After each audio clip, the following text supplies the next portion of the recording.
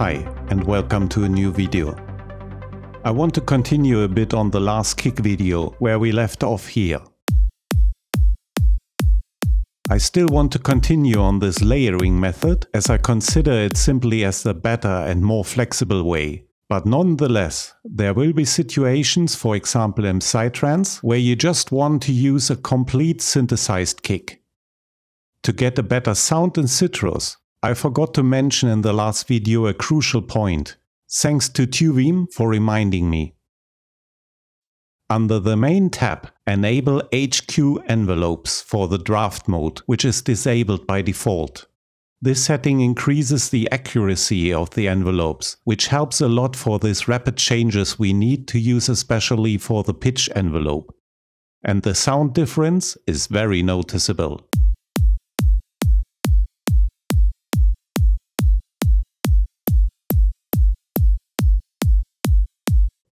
So please remember, if you want to use Sytrus on its own for kick synthesis, always enable HQ envelopes for the draft mode.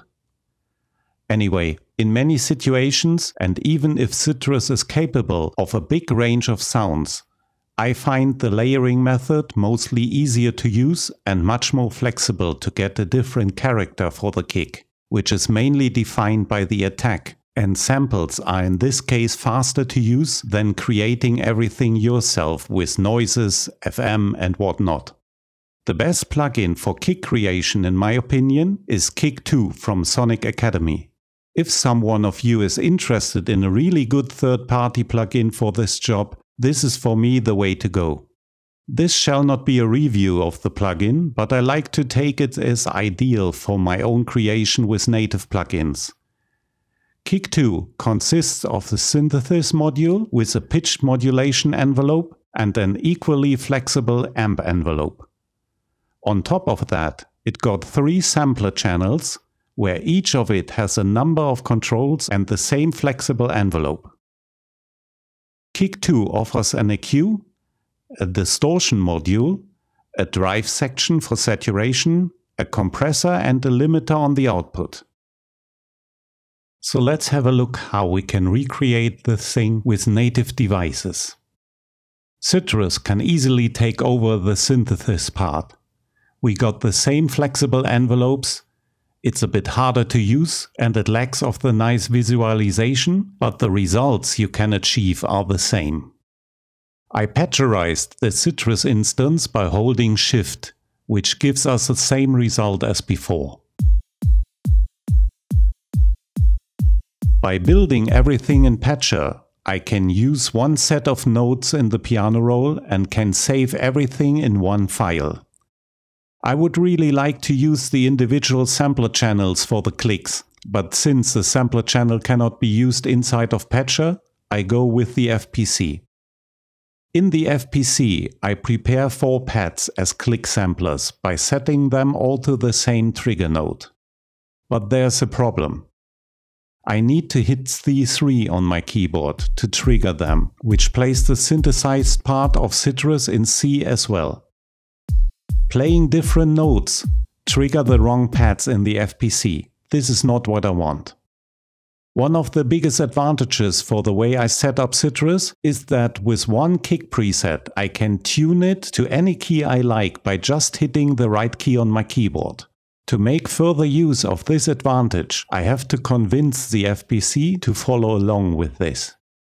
I insert a key mapper before the FPC, set its root node to D, and change all the notes to C vertically. This let me play notes in between D3 and C sharp 4 on my keyboard, but still triggering the four pads of the FPC.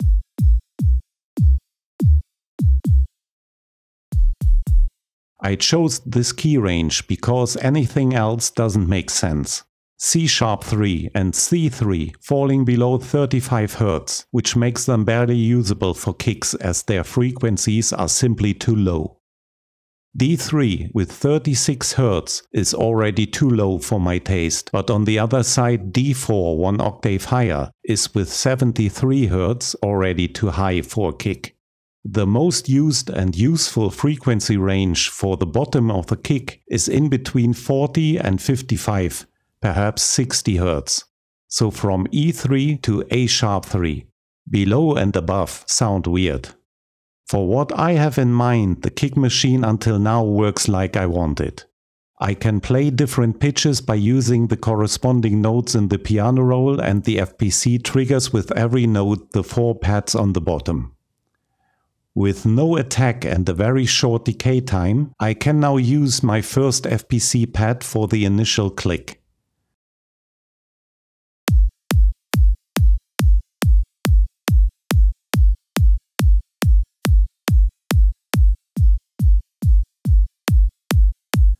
My kick sounds now the same like it did before. I can adjust the volume or the pitch.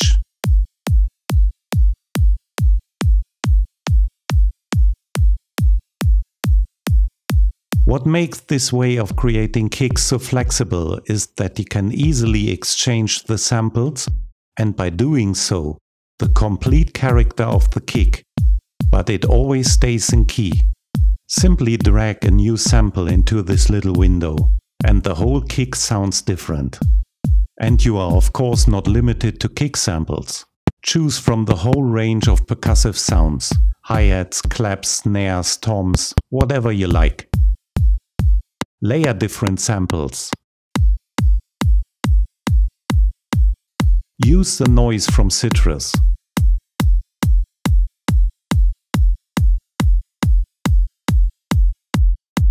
Route the samples to separate outputs and treat them externally with EQ or saturation.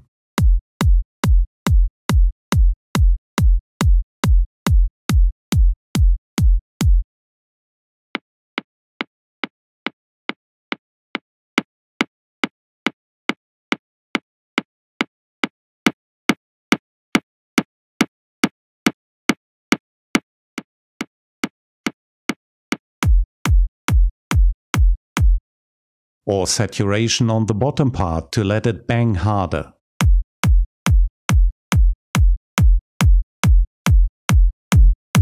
A bit of limiting at the end.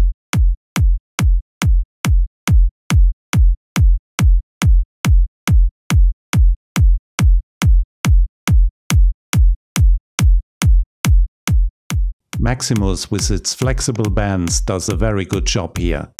Adjust everything to your heart's desire. I prepared this preset here for everybody as a free download. The link is in the description. Enjoy your new kick machine, which you can use or expand in whatever way comes to your mind.